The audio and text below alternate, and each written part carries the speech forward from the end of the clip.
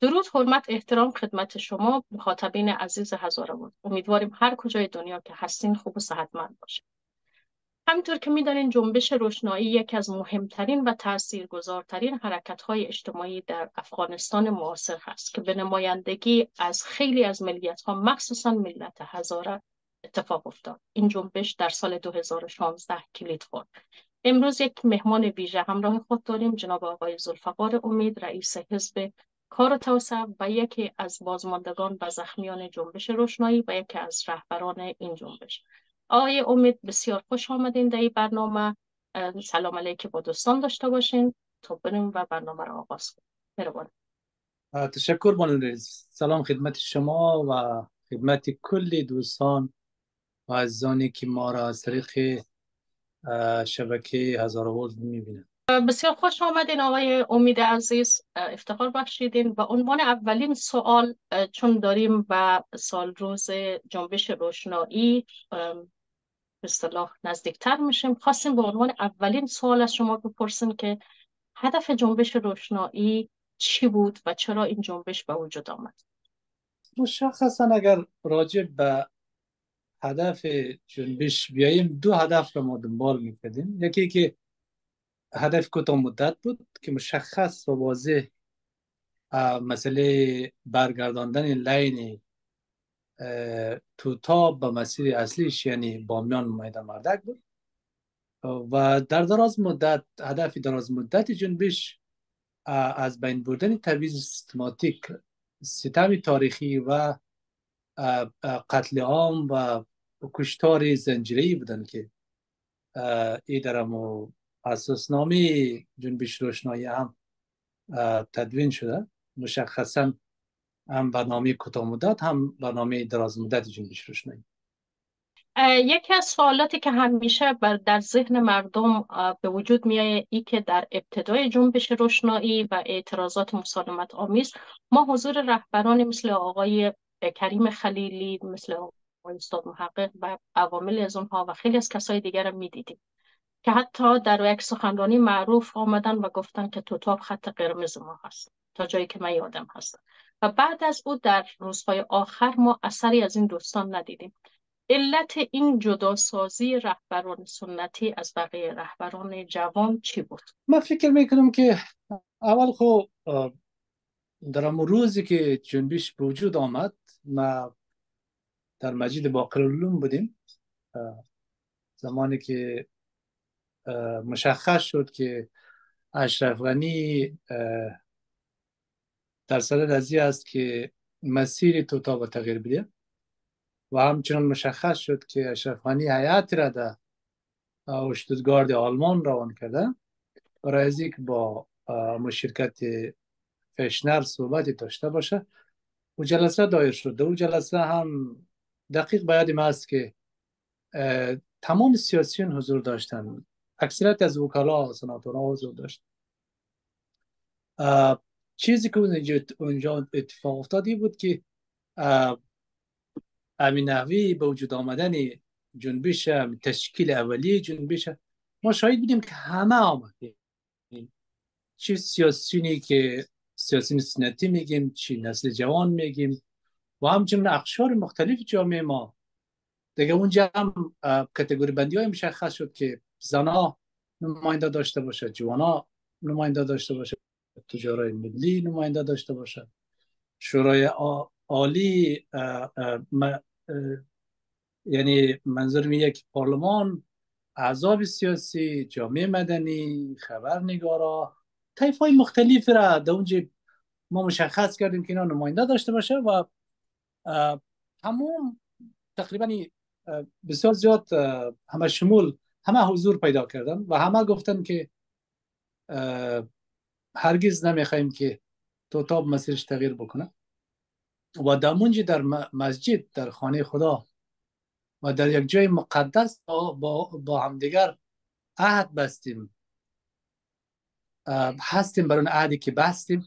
اونمو اولین شعار دمونجی زبان با زبان می‌شد. دوستا گفتن ما سر از تعهد باقی هستیم. بعد در مرور زمان بعد از مسئله اول جوزا و تظاهرات میلیونی که صورت گرفت. تا دیمه زنگ. بعد حکومت دست به کار شد. از جمله اولین فشاری را که ایجاد کرد روی آقای محمد محقق و آقای سرور دانش بود. که یکیش در تیم دکتر عبدالله و دیگر هم در تیم آقای غنی. بعد وقتی فشار ایجاد کردن بعد اینا یک پیشنهاد بدیل را که امو 21 کیلو بود که می‌گفتن ما حکومت برق میده ولی ما باید از توقع خواست کلانی که 500 کیلو ولت است دو تا بست ما باید پایین بیم ما خوب چیز را که مشخصا می‌خوایم برق است. نه چیز دیگه پس وقتی که برق باشه برای مردم بامیان اما برق کفایت نه. یک فشار بود که از طرف حکومت و اونا نتانست که دام بیده بعد از تظاهرات اول جوزا آقای محقق آقای دانش به صورت مستقیم حضور, پیدا نکردن. روزی باقی علوم اونا خودشان حضور داشتن و خودشان هم سخنرانی کردن و در اونجا اعلام کردن که ما تا آخرین رمق تا آخرین نفس ایستادیم. بعد بعد از اول جوزا نماینده هایش می آمدن مثلا هم نماینده آقای محقق می آمدن نماینده آقای دانش اما خودشان حضور نداشتن.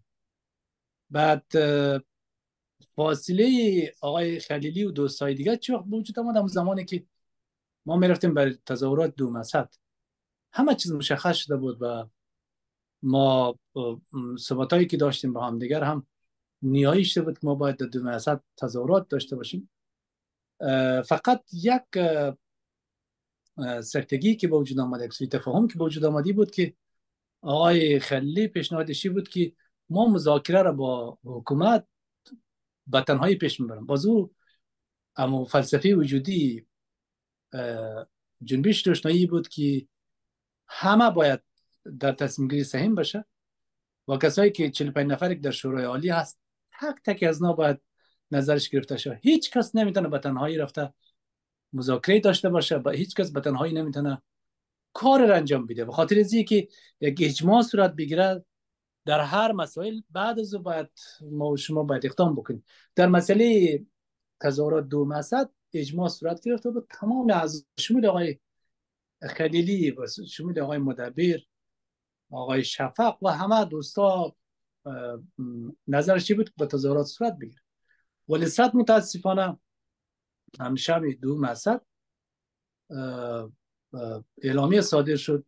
جناب خلیلی صاحب اونا گفتن که ما به نتیجه رسیدیم و حکومت حاضره که به خواسته های مردم لبیک بگوید. بعد تظاهرات به تظاهرات فردا تظاهرات نیست. که یک عملی که هیچ یک از اعضای شورای عالی در جریان از او تصمیم نبودن. تصمیم تصمیم فردی جناب آقای خیلی بودن که بعد از مذاکره معصوم استانگزای و دوستای دیگه صورت گرفت که در اونجا نام آقای مدبر و نام آقای شفق هم آمدن که پسان اینا گفتن ما در جریان از اعلامیه و تدوین اعلامیه نبودیم. بعد اون فاصله ایجاد شد و فکر کنیم دو نقطه خیلی مهمه. یکی که بعضی شعار می‌دادن که نسل جوان یا سیاسیون جوان می‌خواه جای سیاسیون سنتی رو یا سیاسی موی تر و ماسین تر بگیره. یک تبلیغات تبلیغات بود تبلیغات دیگه ای بود که مسئله خود حکومت بود. یعنی فکر کنم که هم آقای خلی هم آقای محقق به نحوی داخل حکومت بود. و فشارهایی که از طرف حکومت آمد اینا نتونست که دوام بده. ما فکر می‌کنم شاید همی دو علت بوده باشه. تشکر از توضیح مفصل شما. بحث دیگه ای هسته که از اقوام غیر هزاره هم که جای سرشناس در کنار شما بودن مثل خانم ناهید فرید مثل آقای لطیف پدرام مثل آقای زیار یا نژاد مثل خانم نیلوفر ابراهیمی و استاد احمد سعیدی و تعداد دیگه که من هنوز خاطرم نیست شاید می‌تونید شما حضور ذهن داشته باشید آیا این دوستان تا آخر با شما بودن در روز تظاهرات هم حضور داشتن و دایه از اینها هم به قول شما هم شعار درد ما برق نیست بلکه فرق هست؟ با این شعار با شما آمدن و این مطالبات را واقعا در کنار شما طلب می‌کردن یا نه؟ در بین شما و کسانی که اعضای غیر هزاره بود هم مشکلات دیگه وجود داشت یا اختلاف نظر وجود داشت یا اینها متحد نظر بودن باشه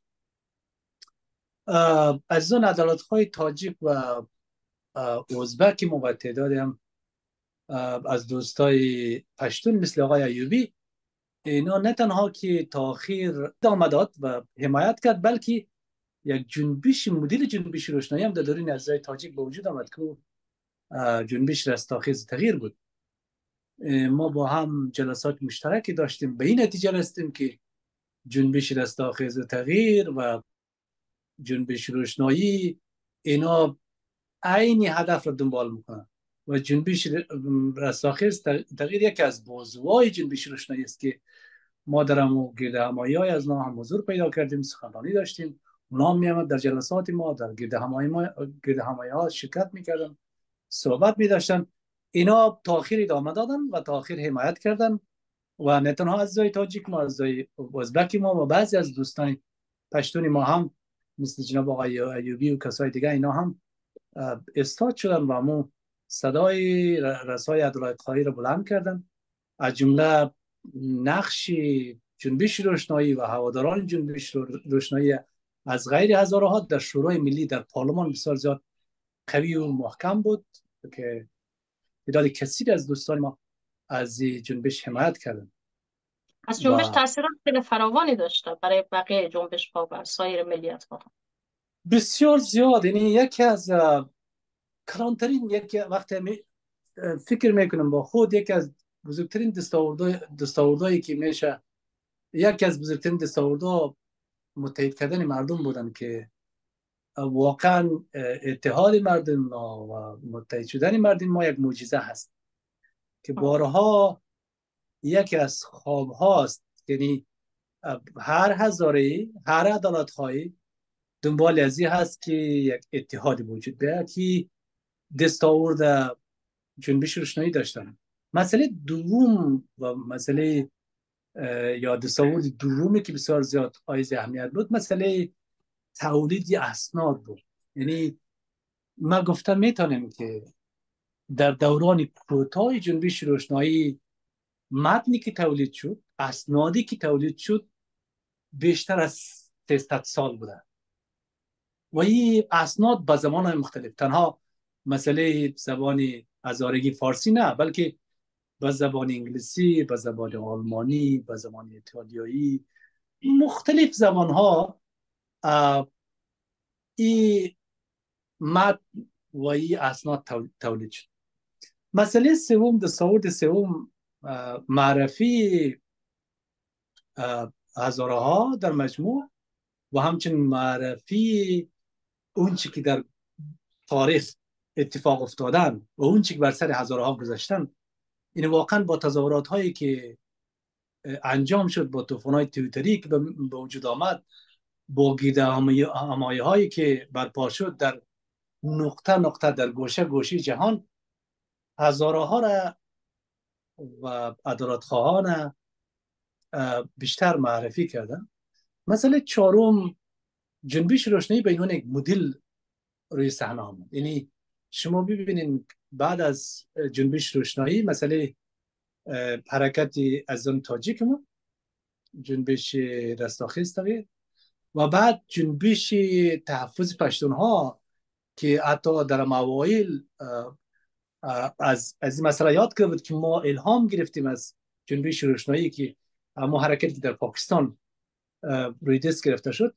یعنی جنبش روشنایی هم در داخل افغانستان به عنوان مدل مطرح شد هم در بین منطقه به عنوان مدل مطرح شد و بسیار زیاد تاثیرگذار بودن. و مسئله پنجمی که برای مردم یک اطمینان به نفس داد. اون که بسیار زیاد مهم است. همیشه همه دنبال از او هست. اعتماد به نفس است و باور کردن به خود است. این جنبش جنبش روشنایی این فضا را ایجاد کردن که مردم به خود باوری برسن. اینا از جمله دستاوردهای جنبش روشنایی بود. همونطور که شما اشاره کردین یک تعدادی از سران رهبران جنبش روشنایی من جمله خودتون خب سفرهایی را داشتین در خارج از کشور. خب تظاهرات هایی هم در خارج از کشور. کلید خورد مثل تظاهراتی که در ورشوی لهستان بود تظاهراتی که در در, در مونیخ آلمان بود در واشنگتن در واشنگتن بود در کانبرا بود در بلژیم بود و بروکسل بود. و با نماینده های پارلمان و خیلی از جاهای دیگر هم ارتباط برقرار شد و این ارتباط فسیع شد. صحبتی که اینجا داریم که جوانهای خارج از کشور چطور تانستن هم قدم با دوستانی که در داخل افغانستان هستن این شبکه ارتباطی به وجود بیاید. و اینقدر طرفدار و هواخواه پیدا بکنه. اکثر اینها جوان بودن کسایی که شاید سابقه و قدر مبارزاتی را نداشتن.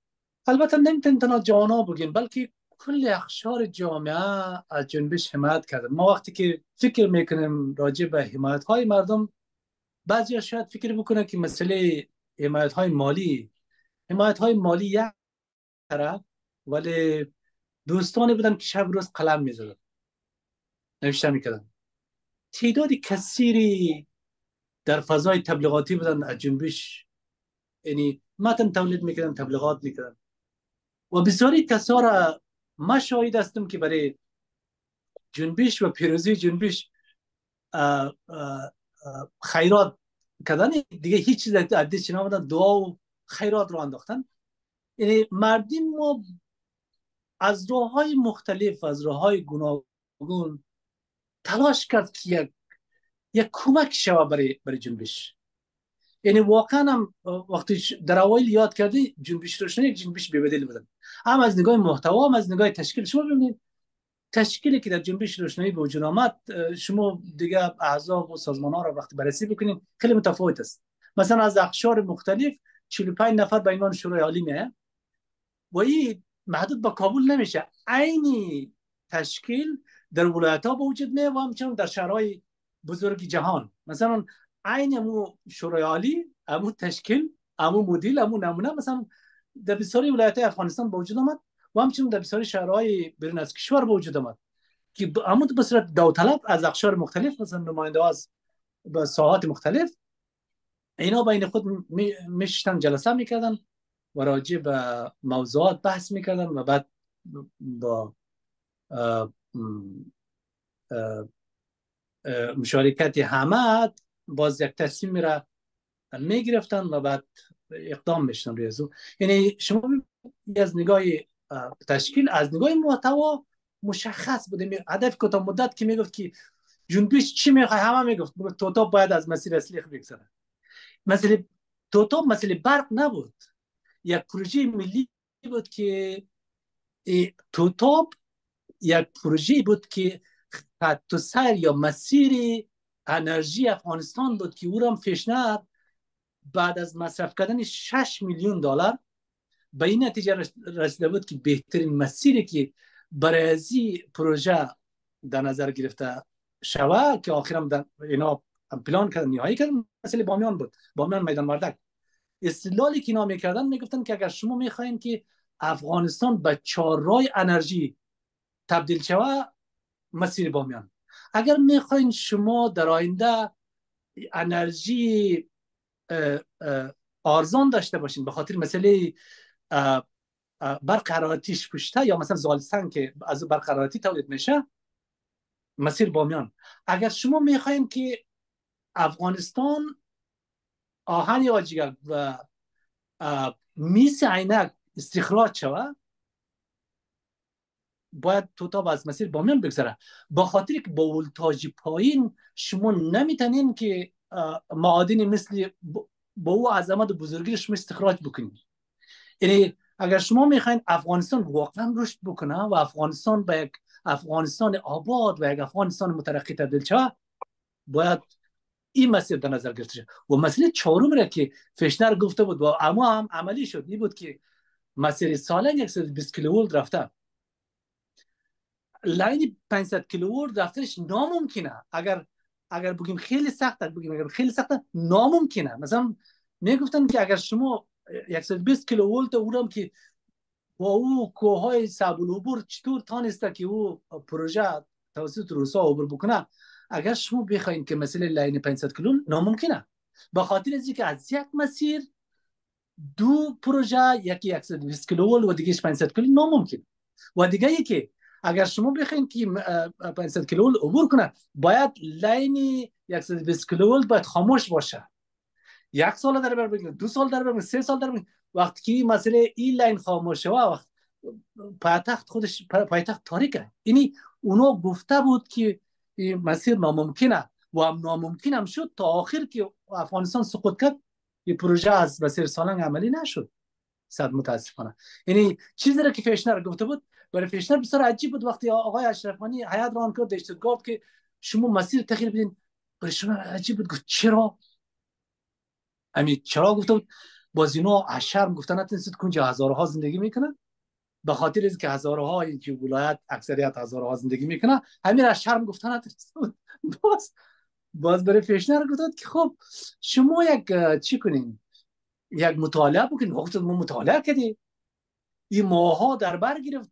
از چی که ما زمین رفتیم چی که از آسمان ما نقشه برداری کردیم. 6 میلیون دلار مصرف شدن و این پول پولای کمکی برای افغانستان بدن. امکان نداره. ولی اینا اما آخرین گپ اشرف غنی و تیم متعصب اشرف غنی به خودش بود که نه هیچ امکان نداره. شما باید یک رای بدیل بسنجین که خود اشرف غنی هم روی مسئله سالنگ تاکید داشت و فیشنر هم گفت که ناممکن است. تا آخر هم ناممکن شد و هیچ متاسفانه جنبه عملی این پروژه پیدا نکرد. یعنی اشرف غنی این آگاهانه و می‌فهمید و چیزی را که فشنر میگه فشنر یک کمپانی بسیار با تجربه است. نه تنها مسئله افغانستان بسیاری کشورها را مسئله همین همین پروژه همین پروژه ملی انرژی شده اینا دیزاین کرده و ساخته و مسئله را تشخیص کرده و تعیین کرده. این را آقای اشرفخانی می‌دانست با مو فهمیدگی با مو آگاهی که داشتن متاسفانه در مقابل از پروژه استاد شد و تا آخرم این پروژه عملی نشد. یکی از بحثایی که پیش می آید این هست که خیلی از سران جنبش با که می‌دانستن امنیت تظاهرات را دولت نمی‌تونه بگیره مخصوصا اما شب آخر گانازیسیون آمدن و یک صحبت هایی را داشتن. با بعضی از جنرال ها وقتی گپ می‌زنیم میگن ما مثلا بعضی از سران جنبش گفتیم. احتمال انتحار و انفجار وجود داره.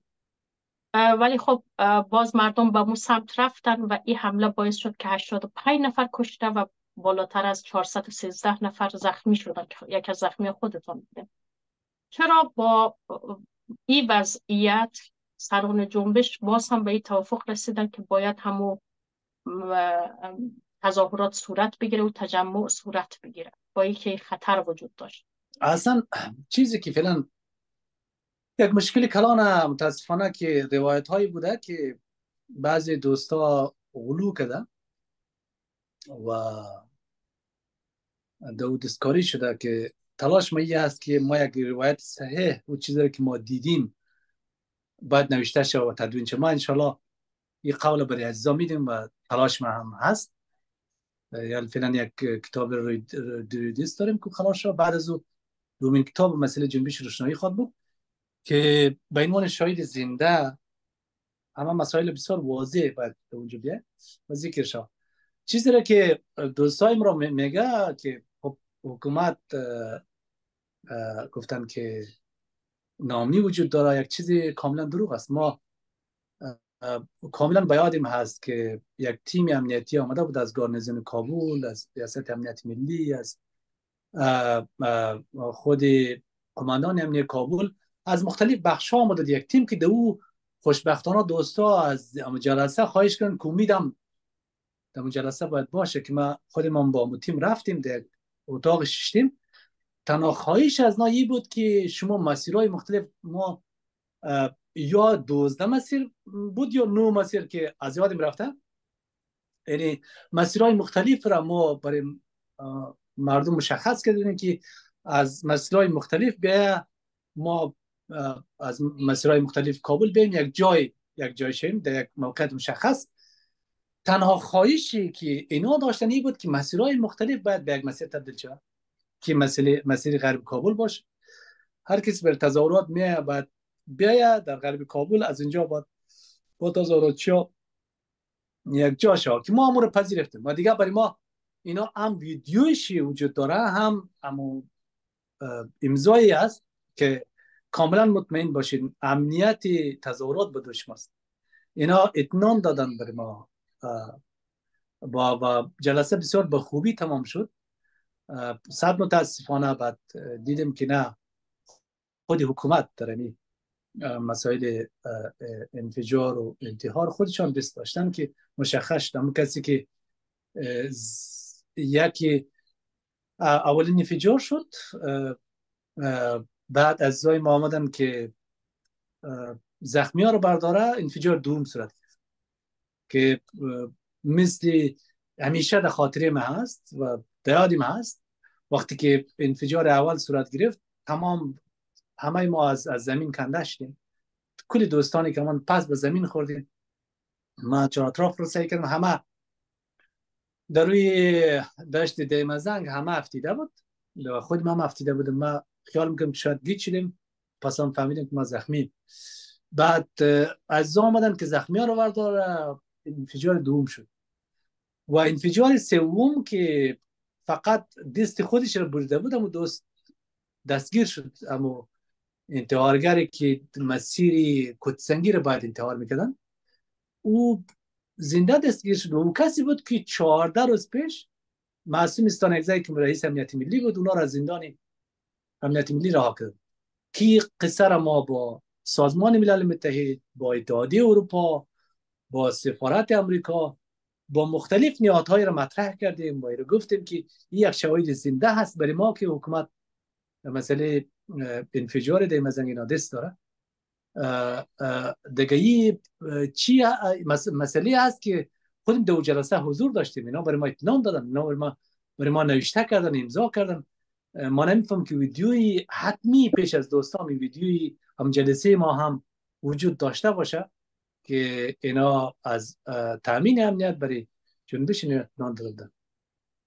به نکته خوبی اشاره کردین عجیب نیست که الان آقای معصوم استانکزی در مراسمی در استرالیا دعوت میشه در ظهر آشورا و بر یک کمپین انتخاباتی کسایی که معرفی می‌کنه در روز آشورا بیوگرافیشون به خانش گرفته میشه. یعنی حافظه تاریخی مردم هزاره قدر ضعیف هسته که کسانی که واقعا ضد هزاره بودن در یک زمانی و افکار فاشیستی داشتن این رقم استقبال از میشه نظر شما چی هسته در این ما متاثر هستیم ما متاثر هستیم. یعنی دوستایی که این کار کردن فکر می‌کنیم که باید به خاطر عدم آگاهیشان از این مسائل شاید بوده باشه. و خوشبختانه بسیار واکنش سریع از طرف مردم دیده شد در, در, در سوشل میدیا. من فکر کنم که دوباره تکرار نخواد شود اما دوست ها یک درسی گرفته باشه یک درس عبرتی بوده باشه. در بسیاری چترومایی در استرالیا هستم. دوستا صریحا اعتراض کردن از دوستایی که بیوگرافی از رو خوانده بودن و کسایی که دعوت کردن و شدت اعتراض کردن. من فکر کنم که شاید دوباره قضیه تکرار نشه خب الان برمیگردیم به خود جنبش روشنایی. یکی از دلایلی که دوستان می‌گفتن البته اگه کوتاهتر جواب بتین ما خوشحال میشه دوستان اذعان می‌کردن این بود که جنبش از جوانانی هستند که شخصیت های برجسته هستند ولی یکی از دلایل سقوط جنبش یا فروپاشی جنبش این بوده که افراد با عناصر نامتناجس در یک جای بودن. همه شما هر کدام یک صاحب یک حزب بودین صاحب یک مفکوره بوده و چیز دیگه ای که در او مشخص می شد این بود که دولت یا حکومت آمد و با تک تک رهبران جنبش جدا جدا در حیات خلوت آنها را دید برای آنها مقام وعده شد برای از آنها امتیازهای کوچک وعده شد و هر کدام تید و پراکنده شدند. آقای احمد بهزاد امروز اصلا خبری امرایش نیست. آقای داوود ناجد تا یک مدتی رفتن در داخل البته خب در دوره های بعدی در بخش امنیت. خود شما هم برمی صورت و بقیه دوستان. و الان عجیب ای هست که کسانی مثل آقای جعفر مهدوی اصلا سخنگوی شبیه به سخنگوی طالب شده و در جزو هیئت ها هستن. چی شد که کار جنبش از نظر شما به اینجا رسید و سران جنبش اینقدر وقتی اتحاد و اتفاق نظر داشتن یک دفعه اقدر متفرق شدن و از هم پاشیدن البته متاسفم راجع به این مسئله و این نقطه فعلا خو همه چیز دیگرگون شدن. خودی جنبش به شمول افغانستان. اما مشخصا راجع به مسئله معامله و یا معادله و یا رابطه و این مسائل فکر کنم که زمانی که در جنبش روشنایی در شورای عالی امکان نداشت کسی معامله بکنه. اگر رابطه داشت اگر صحبتی داشت هم او تاثیر نداشت. به خاطر از که یک فرد در شورای عالی موثر نبود و تصمیم گیرنده نبود بلکه تک تک اعضا باید نظرش لحاظ می‌شد. یک مسئله. مسئله دومی که اگر معامله صورت می‌گیرد باید در اون زمان مذاکره با حکومت بود که تیم جنبش روشنایی هم تعیین شد و تیم حکومت هم خوشبختانه تیم جنبش بسیار سربلندانه پیروز شد که بعد قولی که اشرفانی داد چیزی را که اینا با نتیجه رسه ما را فرمانی میدیم که برو فرمان صادر نکرد تا آخر لحظه. در اونجا یک پروزی بسیار کلان بود که هم از نگاه اسناد و شواهد هم از, از نگاه استدلال تیم جنبش روشنایی پیروز شد. و آمدیم راجع به ای که با تک تک صحبت کرده باشه شاید امکان داشته باشه. به خاطر از که مستقیم یکی از طرف بسیار سراپا قرص علیه جنبش حکومت با تمام دستگاهش بود و با همچنان از زان سیاسی سنتی ما. اما ما دیدیم که کوچکترین نتیجه را به دست آورده نتوانست. اما چیزی را که جنبش را از پای انداخت مسئله اختلافات درونی بود. در وقت ما در هندوستان بودیم زخمی بودیم. ما تقریبا یک سال و کمتری در هندوستان ماندیم. وقتی ما آمدیم وضعیت خیلی خراب بود در بین شورای عالی. یعنی شورای عالی به دو گروه مشخصی تقسیم شده بود و وقتی که ما مثلا رو سوال کردیم گفت که قصه قصه مسئله مالی هست. که اعتراض آقای مهدی و بعضی از دوستایی بود که آقای کی آقای بهزاد پاسخگو نیست و حسابده نیست. دیگه وقتی ما سوال می‌کنیم دیگه بسیار زیاد ناوقت شده بود خیلی تلاش کردیم. ما هم مقصیر هستم به خاطر اینکه باید شب روز تلاش می‌کنیم که این فاصله باید از بین می‌رفت و یک پولی زده می‌شد متاسفانه. دیگه کمکاری از ما شد. ما به عنوان شهید زنده همه دو طرف احترام داشتن ولی ما کمکاری کردیم. بر صورت اون چیزی که جنبش را از پایاندا و جنبش را زمین گیر کرد اختلاف درونی بود. نه حکومت بود نه دستگاه استخباری بود نه استخباراتی نه نه طرف های دیگه. مشخصا دوستان ما به شمول خودیم ما اختلاف کردیم تا که جنبش زمین گرشت قرار بود یک تلویزیون ملی جور شود از طرف جنبش. و یک مقدار هم هزینه جمع شده بود مخصوصا از طرف قوم استرالیا تا جایی که من اطلاع دارم.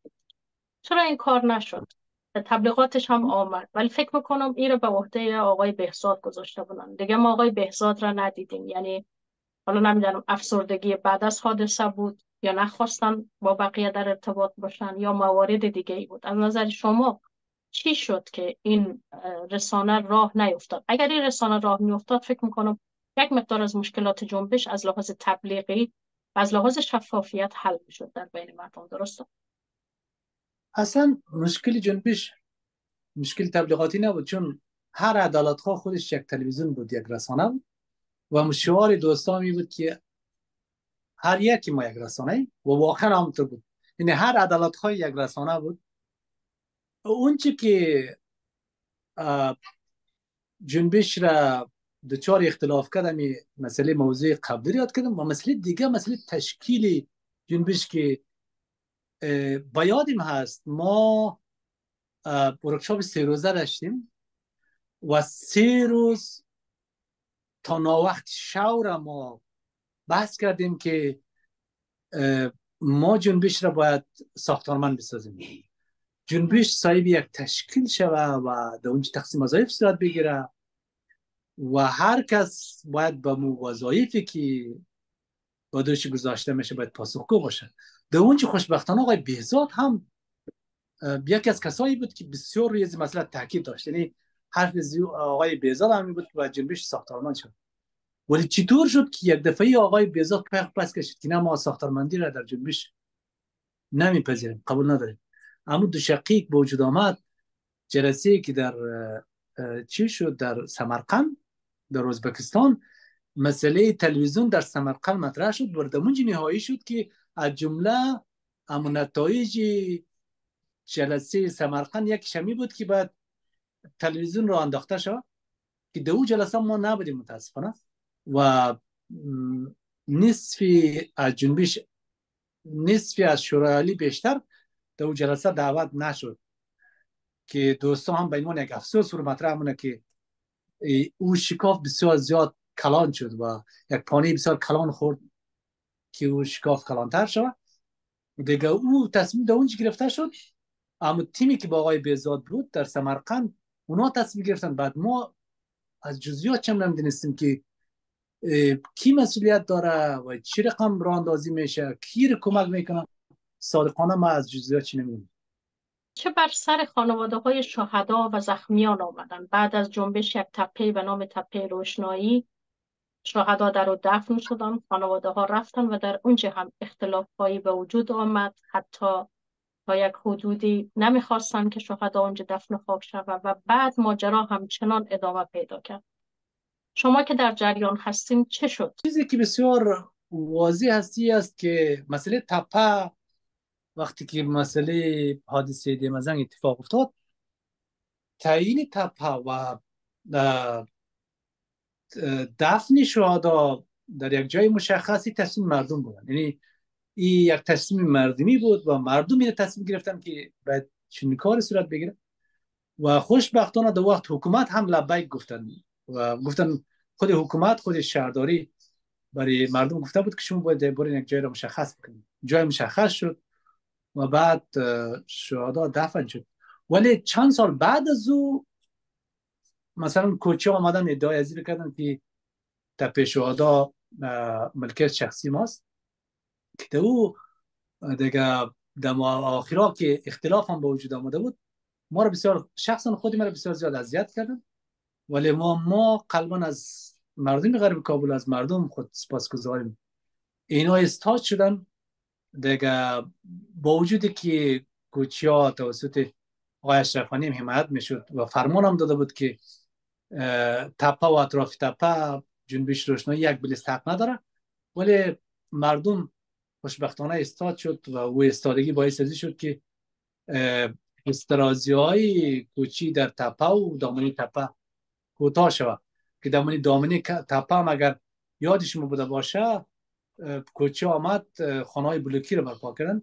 اما زمانی بود که ما سفر اروپا بودیم. وقتی از سفر اروپا برگشتیم آمدیم که خانه های بلوکی را اینا ساختن. در حالی که جایی بودن که در اونجا نیالسانی شده بود. بعد از او باز با مو همت مردم او خانه های بلوکی پس دوباره تخریب شد. ولی باز ما به خاطر که کاملا یک ساحه بودو باش و سایه شده بود که بسیاری کسا اونجا آمده بود که ما نمره داریم. باز مجبور شدیم که کسایی که از از ساحه حفاظت کردن اونا جابجا شد به شمول خانواده شهدا که در خط بین سایه سبز و تپه در خط باریک خانواده شهدا جابجا شد و بعد شهدای پیشانگاه که یادشان بخیر پنج شهید از پیشانگاه جنبش روشنایی داریم. خوشبختانه فعلا اکثریت خانواده شهدا اونجا است دیگه با هم یک رابطه بسیار صمیمی داره. قبل از اینا هم دیگر نمیشناختن. فعلا هر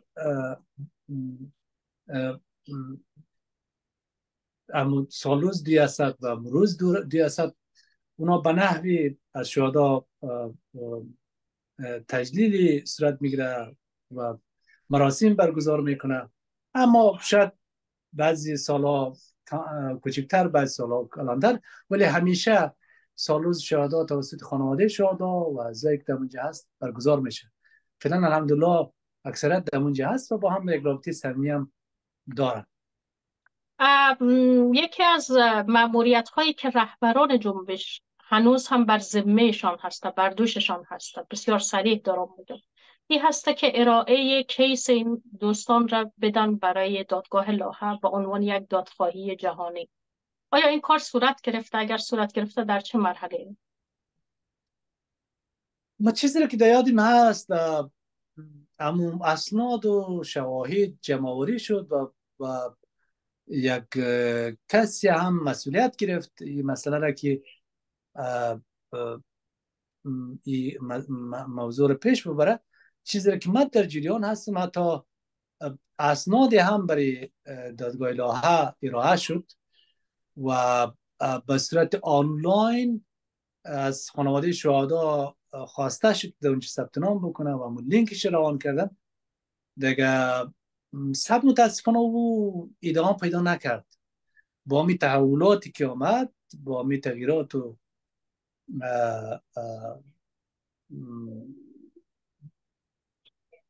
سقوط یا برهم خوردن اوضاع وقت زمانی که پیش آمد همه چیز در حالت رکود سکوت باقی ماند.